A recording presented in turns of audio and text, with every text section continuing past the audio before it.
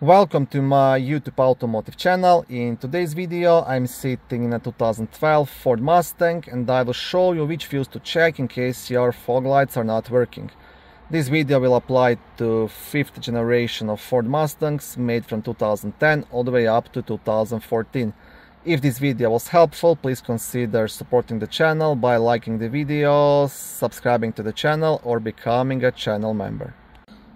The fuse you want to check is located in the passenger's cabin just next to the passenger's right foot behind this black cover. So first you want to pull the cover towards yourself and separate it here and remove it.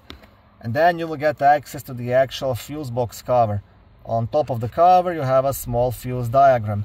To remove this cover you will have two black tabs one on the left side one on the right side. You want to press them at the same time and pull the cover towards yourself one more handy thing, on the back side of the cover you will have a small fuse puller. And the fuse you want to check, it's a fuse number 21, which is a 15M blue fuse located right here. Now in case this fuse is good, then you'll have to dig a bit deeper. First, of course, you want to uh, check the light bulbs in each uh, faulty fog light and then if the light bulbs are good then you want to check the wiring and electrical connections and the fog light switch.